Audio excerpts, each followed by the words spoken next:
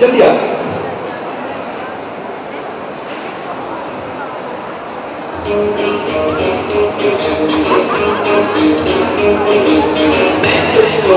दिल दूँगा मैं तेरा दिल दूँगा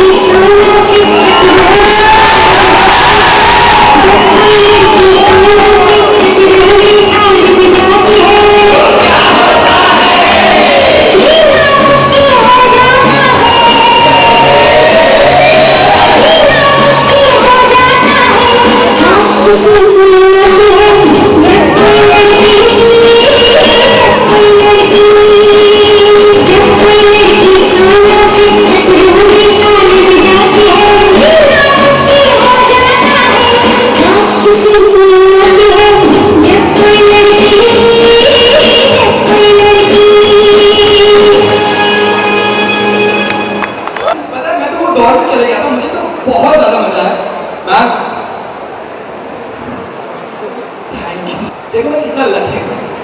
है ना? all of you. सच आपने तो मेरे होश ही उड़ा दिए।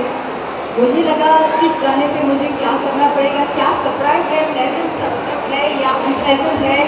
लेकिन ये प्लेजेंट से बहुत कुछ ज़्यादा था। So thank you very much you made my day Valentine day पे बहुत so thank you very much and all the best I am looking forward for the competition to the competition so ma'am एक question आपसे पूछना चाहता हूँ आप क्या expect करेंगे? आज की शो में यानी जो कंटेस्टेंट्स हैं उनसे आप क्या एक्सपेक्ट करेंगे? उनको एडवांस में बता दीजिए, ताकि अगर इनको थोड़ी तैयारी कम भी हो ना तो फट से करके आप क्या एक्सपेक्ट करेंगे?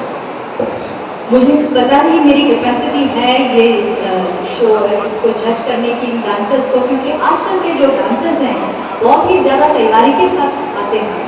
और मुझे ऐसा लगता है, मुझे उनसे कुछ सीखना पड़ेगा।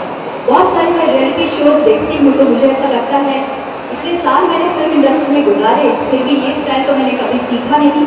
ये मुझे आता नहीं, ये मुझे आना चाहिए। तो मुझे ऐसा लगता है, मुझे कुछ सीखने को मिलेगा them, I'm going to learn a lot of things from them. And thank you very much, ladies and gentlemen. आपने मेरा हौसला बढ़ा दिया, मेरी हौसला अफजाई की। आणि धन्यवाद बरेच मला मराठी भाषिक मराठी भाषिक इथे असतील कारण गोव्यातून मी महाराष्ट्रात आले महाराष्ट्राने मला आपलंसं केलं. आज जे थोडंफार नाव मी कमावलं आहे मराठी भाषेतूनच मराठी चित्रपटातूनच. त्यामुळे आमची माती आमची माणसं. हे सगळ्यात जय महाराष्ट्र. जय महाराष्ट्र. जय हिंद जय महाराष्ट्र. आम्ही आपले आभारी आहोत.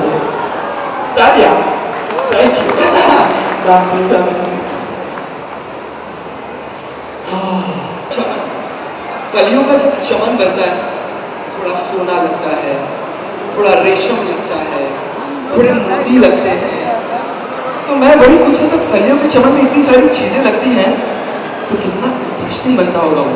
राइट और रॉन्ग एग्जैक्टली तो हमारी अगली जज sexy sensual super sexy super sensual ना ना।